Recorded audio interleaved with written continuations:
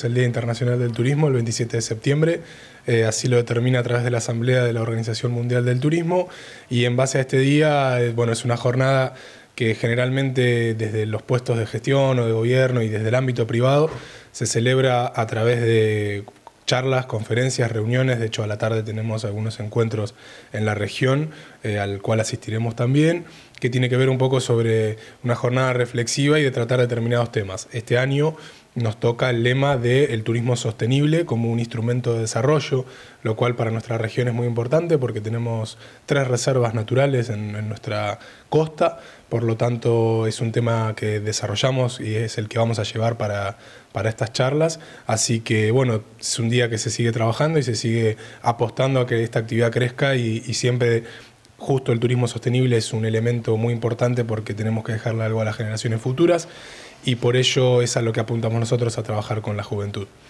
Hablando de las actividades y este turismo sostenible, ¿cuáles van a ser los puntos que se van a visitar hoy y en qué va, va a estar focalizado el encuentro? Bueno, teníamos a la mañana un encuentro con escuelas que quedó postergado para otra fecha eh, debido a algunos inconvenientes que tuvieron las escuelas para asistir. Prontamente pondremos una nueva fecha y seguimos trabajando el día viernes en, marco de este Día Internacional del Turismo con eh, una capacitación en Villa Arias que tiene que ver con el turismo rural, eh, con charlar con los prestadores, eh, compartir experiencias. Vamos a traer gente de la Universidad Nacional del Sur, del INTA y de un grupo de cambio rural de Villarino, donde vamos a trabajar el asociativismo de los productores para desarrollar el turismo rural.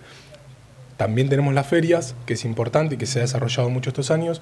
y junto a esto queremos desarrollar otras actividades de, entorno rural que tienen que ver con visitas guiadas, con granjas educativas, con destrezas criollas. Entonces eh, van a venir prestadores también de la región, de Calderón, de Bajo Hondo, eh, de Pehuenco y obviamente la gente de Villarias. Así que esperemos que sea una linda jornada porque es una capacitación importante, viene gente muy interesante que sabe mucho, que viene trabajando hace más de 10, 15 años en algunos casos en turismo rural y esperemos que se pueda desarrollar de mejor manera. Y cerramos en torno a estas capacitaciones en octubre en Pehuenco, el día 13, con un taller de sensibilización que está destinado a la comunidad y a los prestadores turísticos. Pehuenco es una localidad que vive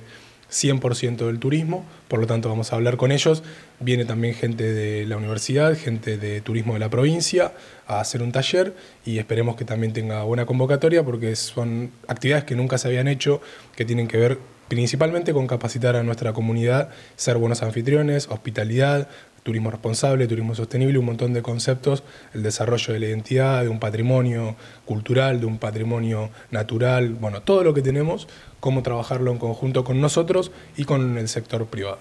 Lo del día viernes, ¿a qué horario y si es abierto a toda la comunidad? Obviamente? Sí, claro. Obviamente tiene un, un público específico que son los prestadores y los dueños de establecimientos rurales, pero está abierto a la comunidad, al vecino de Villa Arias, al vecino de Punta Alta, que se acerque para, para participar y para ver de qué se trata. Esto comienza el viernes a las 14 horas en el comedor Los Membrillitos, ahí en Villa Arias, y tendrá una duración aproximada de 3 horas. ¿Se prepara todo para la temporada estival 2017-2018? Sí, sí, nos preparamos, ya empezamos, aunque parezca mentira, ya estamos trabajando con los guardavías, estamos trabajando con, con los prestadores para poner en valor eh, la villa turística, para poner en valor las playas de Rosales, eh, trabajando en lo que es el calendario de eventos y comenzamos ya en octubre con, con, la primavera del domingo aquí en Punta Alta y el 13 al 20 con un montón de actividades en el Pehuen de primavera, que ya es la puerta casi a la temporada porque vamos a iniciar temporada el primer fin de semana de diciembre, el fin de semana largo en Pehuenco el próximo aquí en las costas de Punta Alta, así que bueno, ya estamos eh, trabajando fuerte porque estamos a dos meses de, de comenzar de lleno con lo que es la temporada alta.